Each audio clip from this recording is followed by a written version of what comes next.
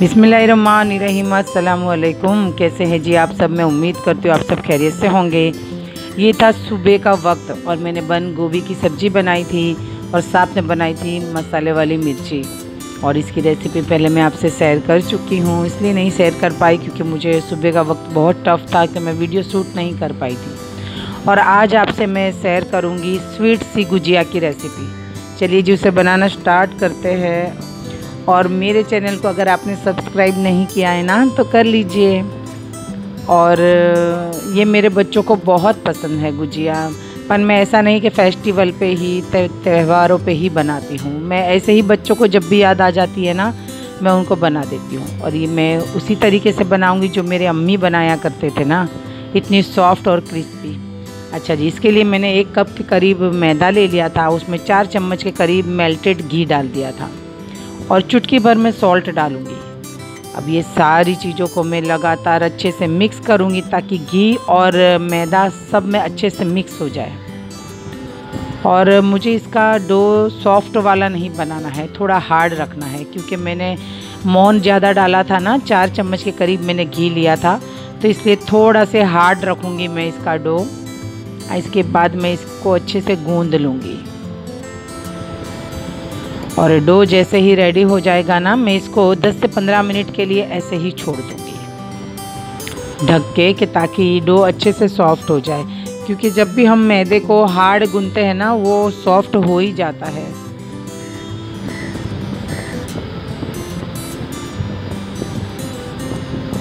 और माशाल्लाह से डो रेडी हो चुका था, हाफ़ ग्लास के करीब पानी इस्तेमाल हुआ था उसमें, और मैंने ढक के रख दिया था। अब मैं इसकी फीलिंग्स की तैयारी कर लूँगी। तो इसके लिए मैंने पैन में एक चम्मच के करीब घी लिया था और मेरा होममेड जो मावा था मैंने दूध से पका के रखा था ना, वो मैंने इसमें डाल दिया है। तकरीबन डेढ़ सौ ग्राम के करीब ये मावा है। अब मावे को मैं अच्छे से भुनाई कर लूँगी और उसमें, इसके साथ ही इसमें डाल दूँगी दो चम्मच के करीब सूजी। सूजी आपके पास मोटी वाली या बारीक वाली जो भी हो आप ले सकते हो।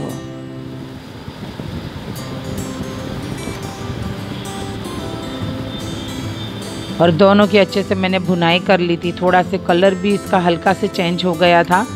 फिर गैस की फ्लेम को ऑफ़ करके मैंने सारा खोया और, सूजी दोनों को निकाल लिया था और इसको ठंडा करने के लिए छोड़ दिया था।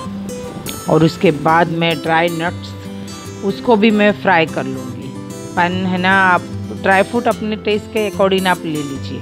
मैंने काजू, बादाम, चिरौंजी और खोपरे की छीण ले ली थी मैंने। मैंने इसमें पिस्ते और द्राक्ष का इस्तेमाल नहीं किया था। पिस्ते मेरे पास थे नहीं और द्राक्ष मेरे बच्चों को इतनी पसंद नहीं आती है।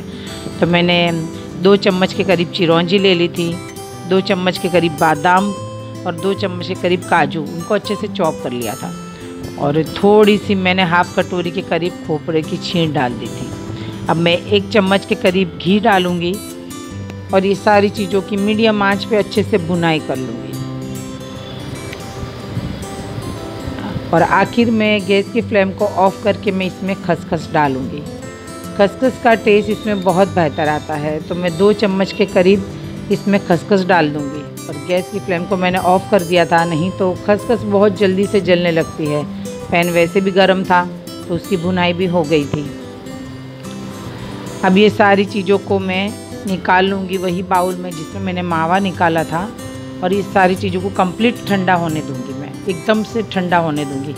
ज़रा भी गर्म रहेगा ना तो मैं जो चीनी का पाउडर डालूँगी ना तो फिर वो अपना पानी छोड़ देगा। और ये ठंडा हो गया था तो इसमें मैंने दो से तीन चम्मच के करीब चीनी डाली थी। चीनी को मैंने ग्राइंडर जार में पीस लिया था और डाल दिया था। मीठा अपने टेस्ट के हिसाब से कम ज़्यादा कर सकते हो। और उसके बाद मैंने वन टीस्पून पूरा भर के इलायची का पाउडर डाला था।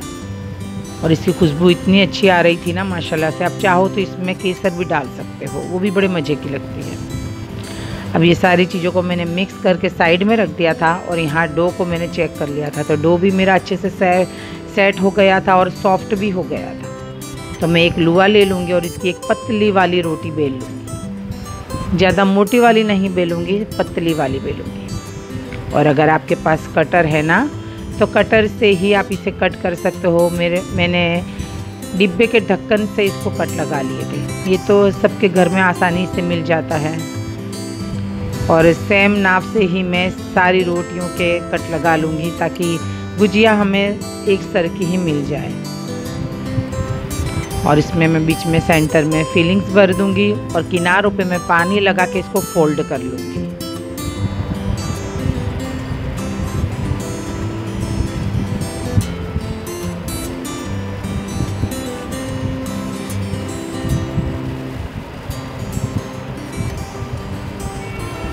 आप चाहो तो मावा अगर आपके पास नहीं है, पनीर है तो पनीर को भी आप कद्दूकस करके इसमें डाल सकते हो। उसकी भी बड़े मज़े की गुजिया लगती है। अब यहाँ पे मैंने इसको फोल्ड कर लिया है।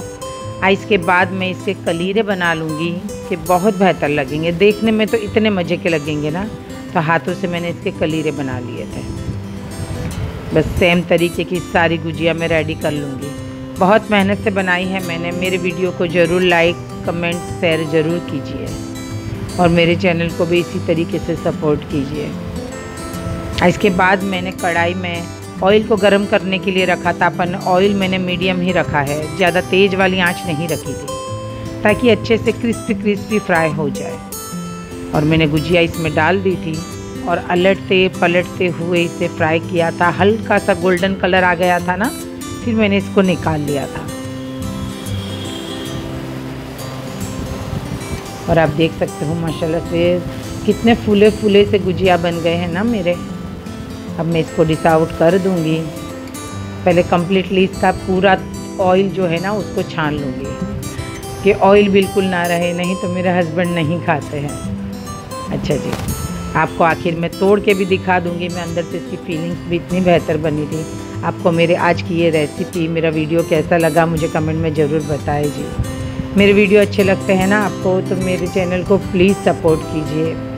और चलती हूँ जी, फिर मिलूँगी अपना वहाँ तक बहुत सारा ख्याल रखना जी, दुआओं में याद रखना। अल्लाह हाफिज़।